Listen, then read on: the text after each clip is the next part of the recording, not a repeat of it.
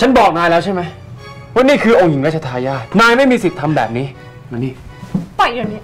เอ้ายังไงเนี่ยองค์ชายอินเพิ่งออกตัวหึงหวงอย่างแรง ชนิดผู้หญิงฆ่าใครอย่าแตะไม่ทันไร ก็ทำองค์หญิงคนิ้งเสียใจอีกแล้ว จนถึงเวลานี้ พระชายายังทรงไม่กลับเข้าวังเลยพะยะค่ะ แล้วอินล่ะ ตอนนี้องค์ชายอินกำลังตามหาอยู่พะยะค่ะ องค์ชายอินจะตามหาองค์หญิงคนิ้งเจอไหม ติดตามใน Princess Owl รักวุ่นวุ่นเจ้าหญิงจอมจุ้น